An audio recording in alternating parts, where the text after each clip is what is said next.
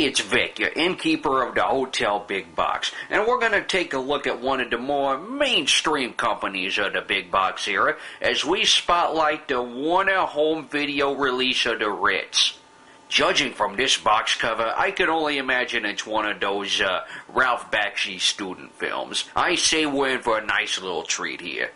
But first, we're going to go back to the early days of Warner Home Entertainment. How early, you may ask?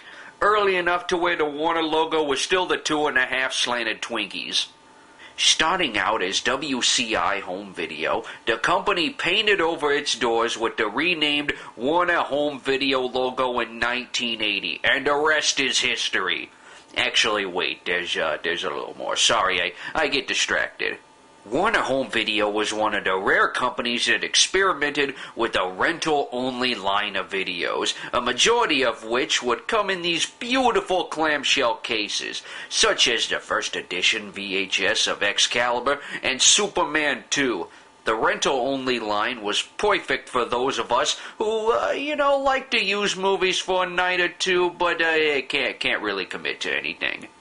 Warner Home Video was also one of the major companies to deal in time compression. This was a perfect way to save money on the short tape VHSs. A notable example of this was the notorious cut of the original Superman, which ran 127 minutes instead of its normal 143 minute release, making VHS's Superman's second weakness next to kryptonite.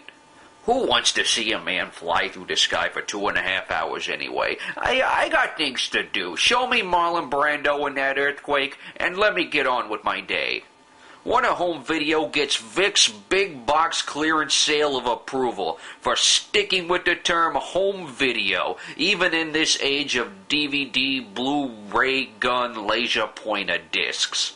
While other companies went from tits on the big box to mainstream fare, Warner Home Video recognizes its roots. And with this classic release of Richard Lester's The Ritz, once again we're reminded that class comes in a giant protective box.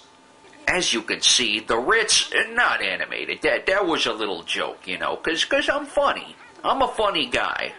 In The Ritz, we get Big Jack Weston playing Gaetano Proclo, a man married into the mob who goes on the run from his uh, connection-filled brother-in-law, who wants to make Proclo, you know, go on vacation, so to speak.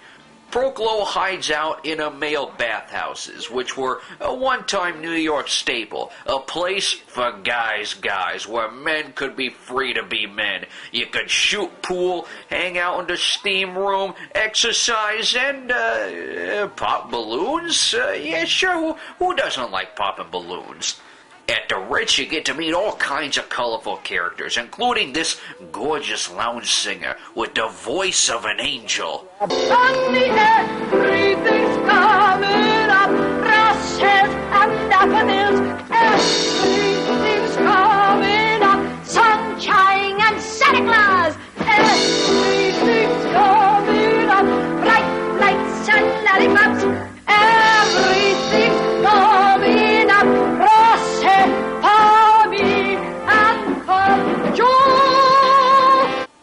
Voice is as rich as the red sauce in my mother's gabagool. No need to take the clamshell out of the cardboard box with the Ritz. You can just open that bad boy right up. That's uh, that that's your cue there, Dollface.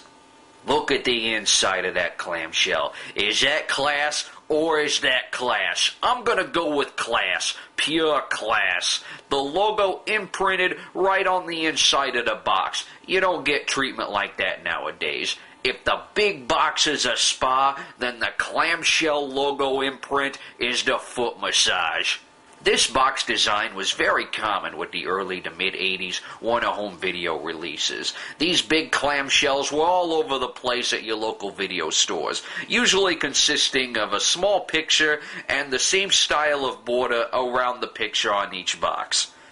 So pick up a copy of The Ritz. Trust me, you're gonna love the taste of this clamshell.